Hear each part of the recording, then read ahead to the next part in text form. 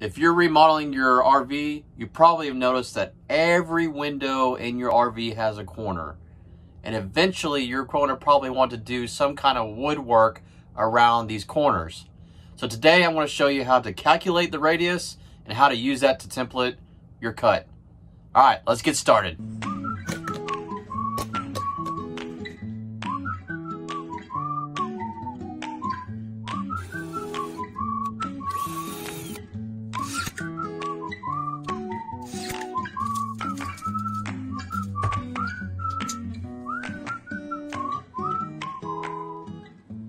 Okay, so today my project is building a custom headboard over the bed in our master bedroom.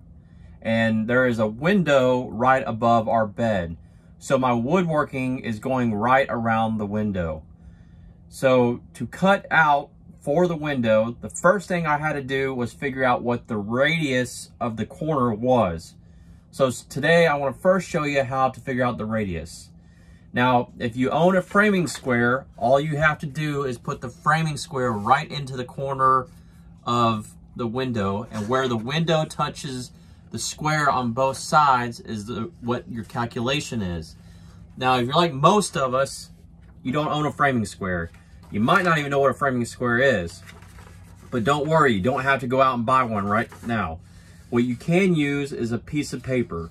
And a piece of paper is great because a piece of paper also has a 90 degree corner.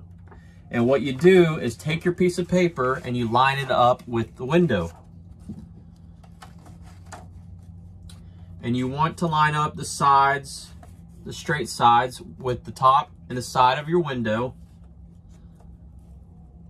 And what you're looking for after you have lined it up is to find where the window starts to disappear behind the piece of paper. And then all you have to do, you can see my marks, is measure the piece of paper. And I have three and a half inches on this side, and same here, three and a half inches. So my radius of my corner is three and a half inches. Now I can take that radius and move over to my piece of wood and calculate out my corner. All right, let's jump over to the piece of wood. Okay, so now I'm over at the piece of wood that I'm going to be uh, cutting. And I'm working on drawing my template for my window so I know where to cut out. So to get started, what I originally did was I had an original uh, cut point that I came in from the top and this is to the top of the window. Now I chose this location because of how I want my pattern to uh, fall. So we're going to be doing crosses uh, as a crisscross pattern uh, with one by two across the top of this utility, uh, quarter inch utility board. And this location is where I'm going to put one of my uh, boards. Now, what I would chose for this point was the thirds of the whole uh, board across the whole back wall. And this third point is two feet into the board. So I use this starting point to figure out the rest of the lines for my cut. And what I did was take, so imagine this is the real window that's up on the wall. I took my straight edge and I put my straight edge on the outside edge of the window so it's straight all the way across. And I went from my original cut point and measured all the way to that straight edge and almost acting like it's a perfectly squared rectangular window. And I got this measure, measurement and I drew that line out here so that you have your, looks like a rectangled window. And then what I do next is take my radius that I calculated with the piece of paper and I back in that three and a half inches and make a mark. And then I came to the other side and did the same thing here and made another mark here of three and a half inches on both.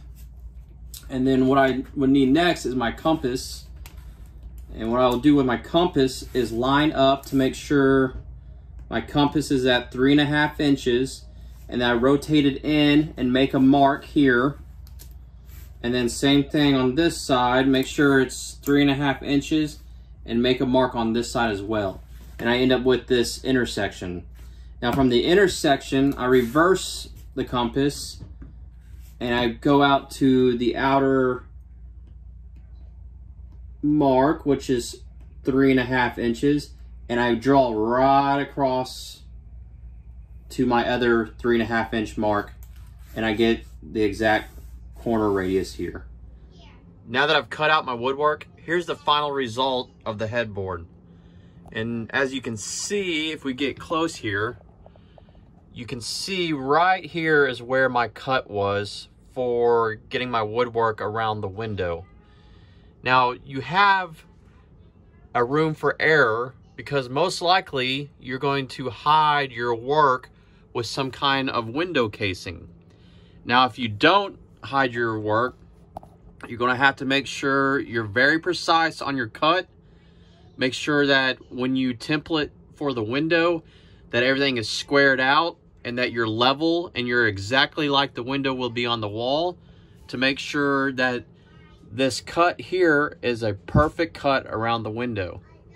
Now, if you're going to add a piece of casing, you don't have to do as much work and you have a little room to make room for cutting and also most likely your slide out is not quite nearly as square as you might think and you have room to actually move the piece of wood around and work your way around the window. Now, why would I take that much effort in making sure to cut out for my window? Well, as you can see, I ran these boards across the one by quarter uh, utility board that I use in the back. Well, the last thing I want is for all my wood cutting to show up in the field of the headboard. So this allows me to make something that I can cut out around the window without those cuts being visible in the woodworking, which is what most craftsmen are trying to do. They want something, a finished product that doesn't show all their work. Okay, so if you guys got any comments or questions, please comment below. And of course, for any do-it-yourself project, the best thing to do is research because that can always save you time and money. Like they always say, you measure twice, cut once. And that's very true, especially when it comes to planning and doing projects yourself. Okay, guys, we'll talk to you guys later. See ya.